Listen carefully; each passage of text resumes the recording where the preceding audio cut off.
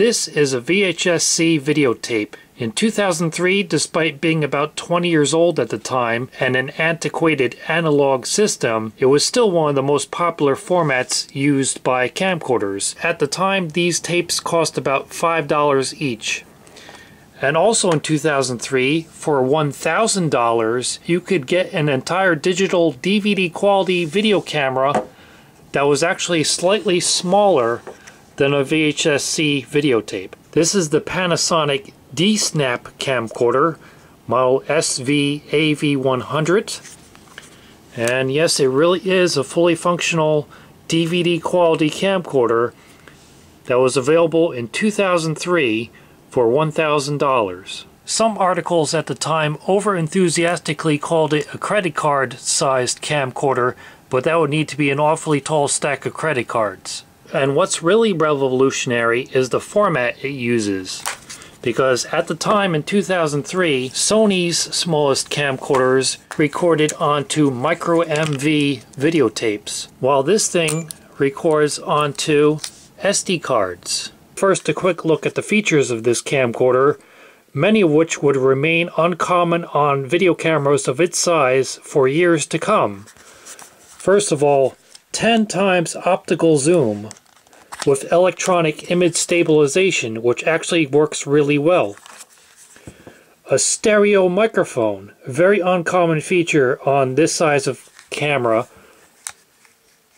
Flip out 2.5 inch LCD, which also can be flipped around to face the front. And notice here, input source, camera or line. That's right, you can use this to do video capture from an external composite video source. And you notice these controls are at a weird 45 degree angle. That's because Panasonic designed them to be used either when the camcorder is being used vertically to record video or when it's positioned horizontally to play back video. And yes, it even includes a remote control. On this side is where the battery goes. It's a flat lithium ion battery.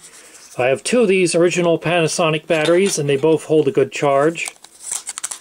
On the front there is a multifunction jack which serves as headphone output for live monitoring of recording as well as listening to playback of clips you recorded, an AV input, and an AV output. There's the USB port, and under this one is a DC power input for charging the battery. And speaking of the power supply, it's about the same size as the camcorder itself. Unfortunately, there's no tripod mount, but it has a nice flat surface on the bottom, so you can leave it with the LCD panel closed and use it to record.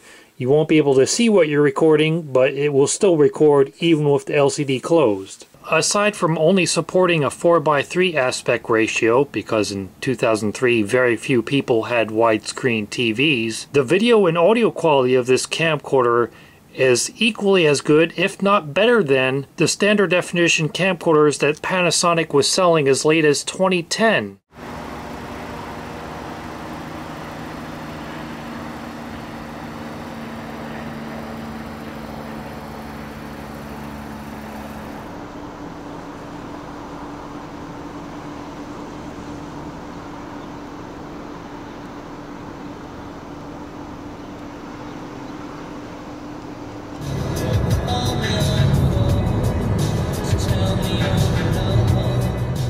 I have to talk over this clip because I had music playing on my car radio when I was recording it, but I happened to see this bright yellow motor trike on the highway, so I pulled out the D-Snap and started recording it. You can see even when I zoomed it in to get a closer look, the electronic image stabilization did an excellent job. If anybody can identify this motor trike, please leave a comment telling me its make and model.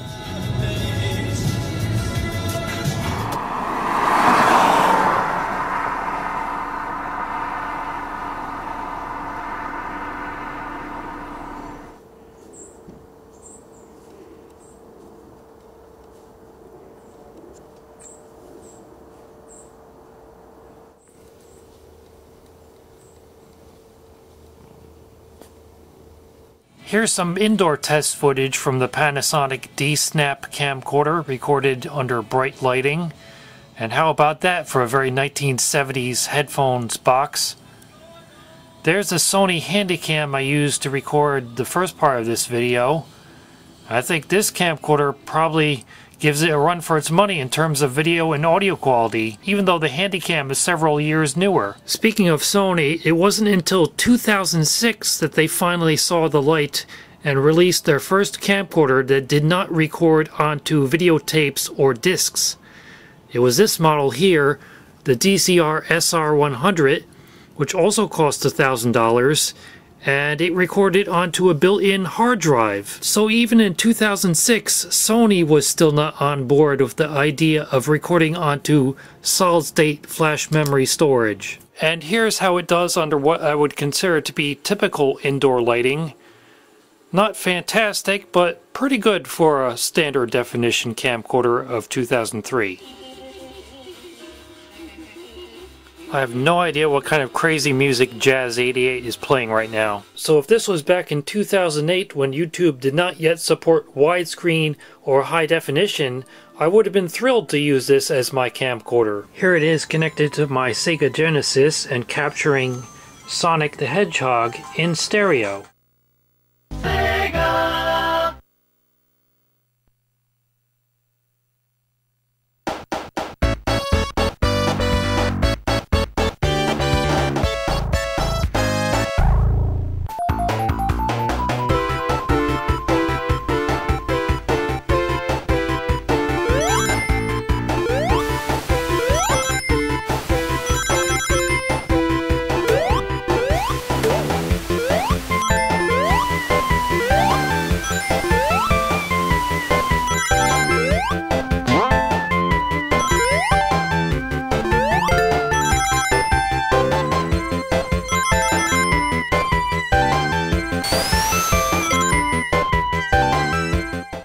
One limitation is that it will not let you do video capture from sources that are Macrovision encoded. If you try, it just beeps and shows copy inhibited on the screen.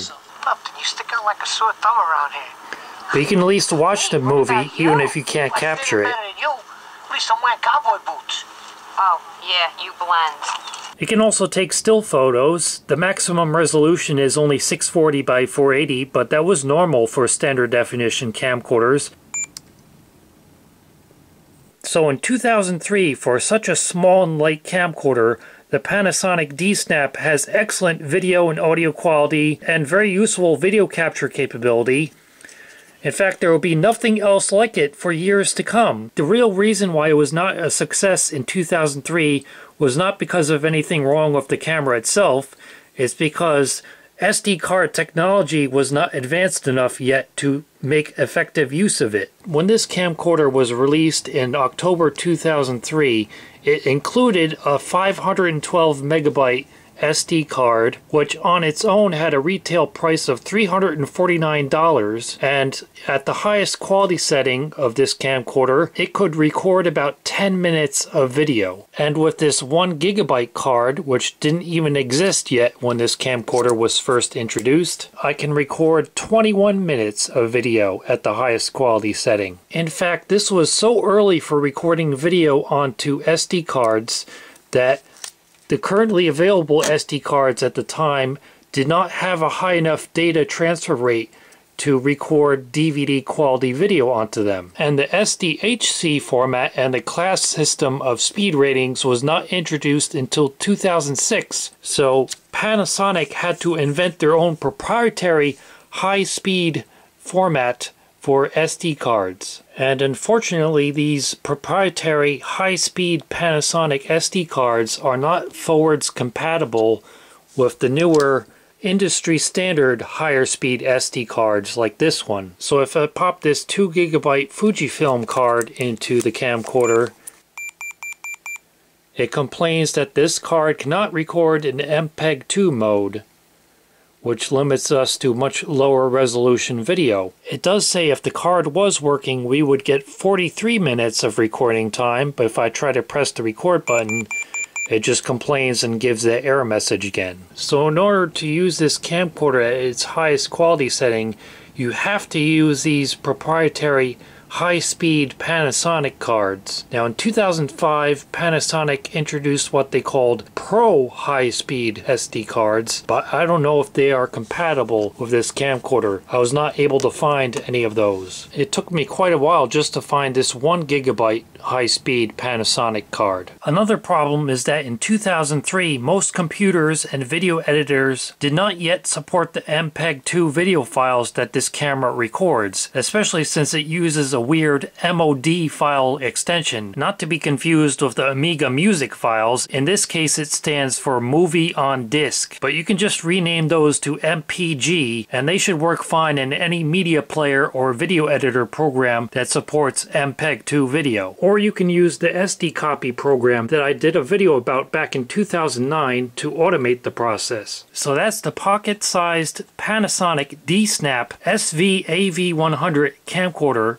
from 2003, a product which was just too far ahead of its time. In fact, I think if it had been released around 2006, when industry standard higher capacity SDHC cards were available, and when YouTube was starting to make the use of these small video cameras much more popular, I think it would have been a much better success.